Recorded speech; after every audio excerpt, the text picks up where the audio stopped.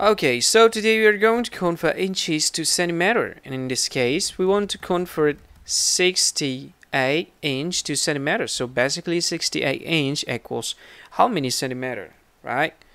Okay, to solve this problem, first we need to uh, we need to know the conversion between inch to centimeter. We need to know the formula and this is the formula 1 inch equals 2.54 centimeter. Okay, we will use that and this is the answer section. This is uh, the way we solve the problem. First just write again the question and write again the formula. This is the formula.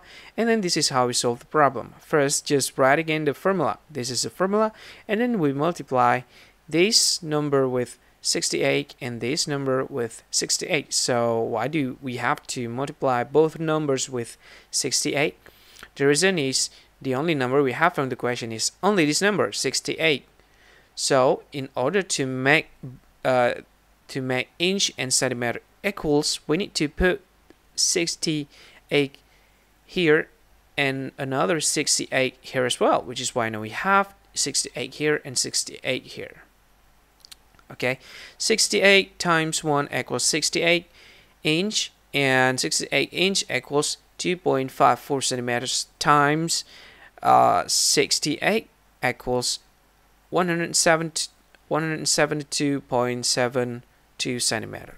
And that's it. Thank you for watching. Hi, thank you so much for being part of this video.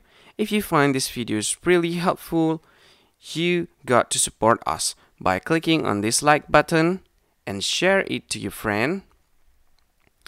And of course, you need to subscribe in this channel by clicking the subscribe button and don't forget to click on this ring button to get notified for every video we upload on YouTube. And if you have any question or you want to just say thanks to us, just click on this uh, comment section and you can see whatever you want and click in comment. I think that's all of it. Thank you for watching and see you again in the next tutorial. Bye bye.